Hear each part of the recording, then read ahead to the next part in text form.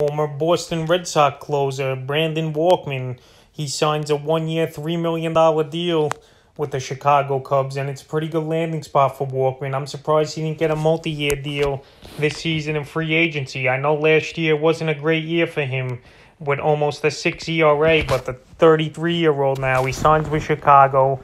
He gets a one-year deal, and I don't think he'll be competing really for the closer's role this season unless Craig Kimbrel goes down or a trade, he gets traded. But Workman, he'll probably be the eighth inning man or seventh inning man here for the Chicago Cubs, and it's a good move for them. They get a decent reliever over the past few seasons where he could pitch some innings. He has back end the bullpen experience, and Workman last few seasons he's been okay.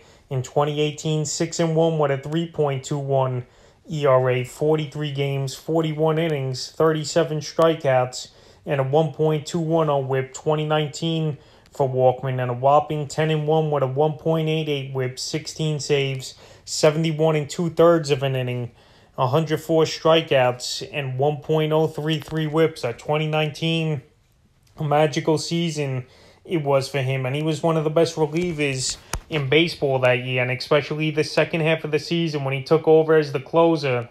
He really was great for fantasy baseball and the Red Sox. And then last season between Boston and Philly, the numbers weren't great for Workman. One and four with a five point nine five ERA. He still had nine saves, nineteen innings pitched for Workman, twenty three strikeouts, and a two point two three seven whip. So the numbers weren't great last season.